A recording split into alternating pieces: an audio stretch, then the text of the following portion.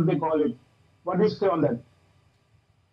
The report is uh, completely damn squib. मैंने कहा tweet किया I said it's a damn squib. It's completely useless. And they made a big show two days before they've announced uh, India something big is coming.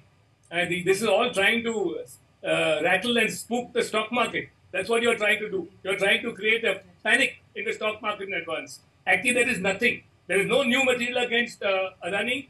In fact, Mr. Hinden, Mr. Uh, uh, the, uh, the, owner of uh, Hindenburg has actually disobeyed the Supreme Court because the Supreme Court has said that he must uh, that they must have a said he must have an inquiry into the short sale and any laws in India which are violated.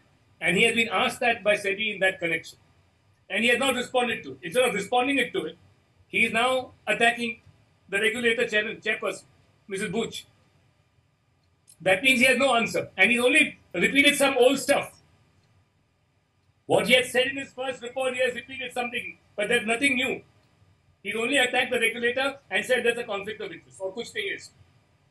Uh, SEBI chairperson has also given a detailed clarification and has uh, put her side completely uh, in public domain and she said that there is nothing which was concealed, there was nothing which was uh, out of the uh, regulations of the SEBI. So this is something which is personal mal- maligning her and her uh, husband. So what do you uh, think? What other legal remedies are left with uh, Mrs. Butch in court of law?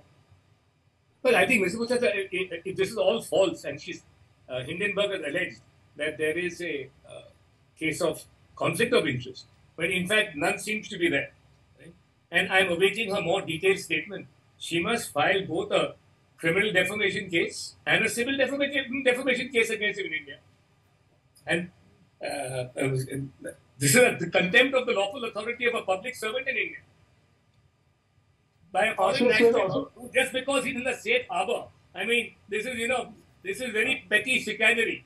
Without any responsibility or accountability, you sit in America, a safe, a safe harbor, you rely on third party reports, you have done no research yourself. Your research is only based on some other organizations. This is your research. Whether those are true or not, they evidentiary value. Anybody can fake anything. One of the one of the uh, third party institutions is OOCRP. Some of the material has been given to it by the lawyer for the petitioner in the Supreme Court, Mr. Prashant Bhushan. This is the kind of material. So, uh, you know, a, a, band, a band of conspirators have got together, circulated information to each other. And this is supposed to be credible evidence. Intended actually, it's actually a very shallow conspiracy, but with deep ramifications to damage the stock market of India. And of course, both the reports, the one today and the one last time, have both been published by Hindenburg with much fanfare around the budgets of the two years, 23 ka and 24 ka. So what is the intention? Sir, uh, she has also mentioned uh, in her statement in the end that uh, Hindenburg has been given a show cause notice and instead of replying that notice, they are just maligning SEBI and its chairperson for his personal uh, grudge against them. No personal grudge because he's caught. He's like a cornered rat now. Hindenburg is like a cornered rat. Action should be taken against him. SEBI must probe this much more deeply than they're doing. Retail investors have lost a lot of money. And this is a concerted attempt not just to rock the stock market, de- undermine our budget, and cause, cause reputational damage to uh, Adani. So there is also one more thing that there's a very big fan film of Hindenburg, especially in the opposition of. And since the report has come, they're all cheering it up and blaming SEBI, government, and all the authorities of India based on the report of Hindenburg. So what do you say to the opposition? Those Anybody, all those people are relying on Hindenburg report are shallow brained because there is nothing in that report. One of the main allegations, and this is the whole fulcrum of the Hinden- Hindenburg report, is some DRI inquiry. That DRI inquiry is a fulcrum because all these people who are attacking the Adani group are saying that there was some money received by way of overvaluation of import of import of power project equipment. That money laundering, right, was siphoned off in overseas entities, right, and then used by the Adani group uh, companies overseas through the Mauritius group to trade Adani shares in the stock market. But the fundamental basis for this allegation is destroyed by the fact that not only DRI, but appeal from DRI by CSTAT Tribunal and by the Supreme Court have all said there is no over invoicing. If there is no over, over invoicing, there is no money to be siphoned, to be taken abroad, to be brought to the Morris route, and to trade in Adani shares. The whole thing is a zero. Sir, it's a circle which is going on and on and on. So there should be a full stop on it. First report of Hindenburg, which was slammed by Supreme Court. Should, take out you should file a serious case against Mr. Hindenburg and take out extradition proceedings to the USA. Uh, sir अगर आप एक दो सवाल video पे हमें जवाब देते basically इस पूरे मामले में आपकी पहली प्रतिक्रिया क्या है जो चीज़ सामने आ रही है उसके बाद सॉरी आप मैं आपने क्या कहा अ, हिंदी में भी सर एक दो जवाब हम लोगों को दे देंगे कि इस पूरे मामले में आपकी पहली प्रतिक्रिया क्या है देखिए ये तो इसमें तो कुछ दम है ही नहीं इस रिपोर्ट में। ये रिपोर्ट बिल्कुल बेबुनियाद है इसमें कुछ सब्सटेंस नहीं है और जितना इन्होंने आगे से प्रोपोगेंडा किया था प्रचार किया था कि समथिंग बिग हम पब्लिश कर प्रकाशित करने वाले हाँ उसमें तो कुछ नहीं है। ये जो पुराने जो फैक्ट्स थे पुराने जो इल्ज़ाम थे अदानी ग्रुप के खिलाफ वो फिर से दोहराए हैं। अदानी ग्रुप के खिलाफ और कुछ नई बात इस रिपोर्ट में है ही नहीं। सिर्फ़ इस समय इस, टाइम क्या किया है कि उन सेबी ने जो जवाब पूछे थे, सुप्रीम कोर्ट के आदेश के मुताबिक, सेबी ने कुछ पूछे थे सवाल हिंडनबर्ग को, उसका उन्होंने कोई जवाब नहीं दिया। उसके बावजूद, उन्होंने क्या किया? उन्होंने इल्ज़ाम लगाए अभी सेबी के चेयरमैन चेयरपर्सन के खिलाफ, मिसेस बुश के खिलाफ। यानी अब वो परिस्थितियाँ तथ्य के ऊपर नहीं जाना चाहते। अब वो सिर्फ़ किसी का नाम किसी को डिफेम करना किसी का नाम बदनाम करना इसकी रेपुटेशन को डैमेज करना। इस मौके पर मिसेस बुच को उनका वही गेम है अभी।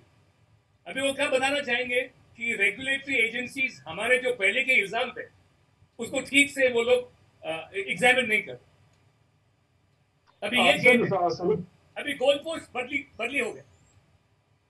सर सेबी चेयरपर्सन ने अपना एक डिटेल स्टेटमेंट जारी किया उसमें उन्होंने कहा है कि उन्होंने ऐसा कुछ भी नहीं था जो सेबी के रेगुलेशंस के बाहर जाके किया हो या फिर रूल्स के मुताबिक जो बताना था उसे छिपाया हो। तो ऐसे में वो कहती है उनके पास डिफेमेशन केस फ़ाइल करने का या बाकी और तरीके जो ऑप्शन वो अवेलेबल है। इस पर आपकी एक लीगल राय क्या है सर इस पूरे मामले में? नहीं, देखिए, ये तो ये तो रेपुटेशन डैमेज है ही ना। उन लोग ने कॉन्फ्लिक्ट ऑफ़ इंटरेस्ट की बात की है। उन्होंने कहा है कि हाँ यानी उनका मतलब ये है, जो इल्ज़ाम लगा है, उसका मतलब ये है कि मिसेस बूच और उसके हस्बैंड मिले हुए थे अदानी अदानी के जो जो भी घोटाले अलेज किए गए हैं हम्म, उससे उसके साथ मिले हुए थे। अभी ये बिल्कुल बेबुनियाद है ये गलत है ये फॉल्स है। तो ये होने के कारण रेपुटेशन डैमेज तो सफ़र किया गया है। और इसका इलाज सिर्फ़ यही हो सकता है आप एक डेफोमेशन केस फ़ाइल कीजिए क्रिमिनल सिविल और डैमेजेस भी ले लीजिए। सर एक के बाद एक इस तरीके की रिपोर्ट सारी है लेवल की पहली रिपोर्ट आई है दूसरी रिपोर्ट आई लेकिन एक सर्कल शुरू हो गया जो शायद रुकता हुआ दिख नहीं रहा है। तो भारत सरकार के लिए भी काफ़ी डैमेजिंग है। भारत की अर्थव्यवस्था को एक लॉन्ग टर्म में नुकसान पहुँचाने की कोशिश हो रही है। सरकार और जो व्यवस्था है हमारी वो कैसे एक्शन ले सकती है इन चीज़ों के खिलाफ? देखिए सर, सरकार को अब कार्रवाई शुरू शुरू करनी चाहिए हिंडनबर्ग के खिलाफ। सबसे पहले कोटक को पूछताछ को, को, कुछ गंभीर पूछताछ होना चाहिए कि किस परिस्थिति में आपको अप्रोच किया गया कोटक को फुल डिस्क्लोजर करना चाहिए अभी। जितना भी उनका जानकारी है ये मामले में उसका फ़र्ज़ है बताने के लिए। क्योंकि उनके पार्टिसिपेशन के वजह से रिटेल इन्वेस्टर्स को काफ़ी नुकसान पहुँचाया गया। तो पहले कोटक को पकड़ो।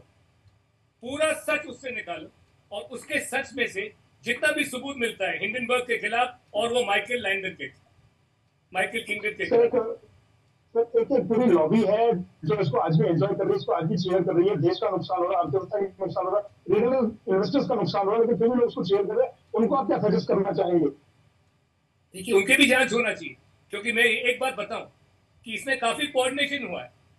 हिंडनबर्ग रिपोर्ट आने के पहले ही बड़ा शोर चल रहा था पब्लिक में और पार्लियामेंट में भी, अदानी और पीएम के बारे में। तो उनको मालूम था कुछ आने वाला है। फिर यदि आप हिंडनबर्ग की रिपोर्ट देखेंगे आप देखेंगे कि काफ़ी उनके जो इल्ज़ाम है वो एक पार्लियामेंट जिसके ऊपर बादल है भी क्लाउड है उसके सर, सर पे एक पार्लियामेंट मेंबर के पूछे गए सवाल के आधार पे। तो इसमें क्या कोऑर्डिनेशन हुआ है? ये एक फॉरेन कॉन्स्पिरेसी है और ये इंडियन पार्टिसिपेंट्स कौन है? इसमें भारतीय हिस्सा लेने वाले कौन है? ये सब एक्सपोज किया जाना चाहिए।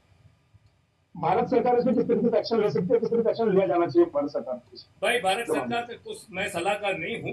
वो वो अच्छी तरह से जानता है उनको क्या करना है और मेरा सलाह लेने की कोई ज़रूरत नहीं उनको वो हो जाएगा। नमस्कार मैं हूँ मानक गुप्ता। अगर आपको हमारा ये वीडियो पसंद आया हो तो इसे लाइक और शेयर ज़रूर करें। और हाँ हमें सब्सक्राइब और फॉलो करना ना भूलें ताकि आप देश और दुनिया की कोई खबर मिस ना करें। तो जुड़े रहिए हमारे साथ और देखते रहिए News 24.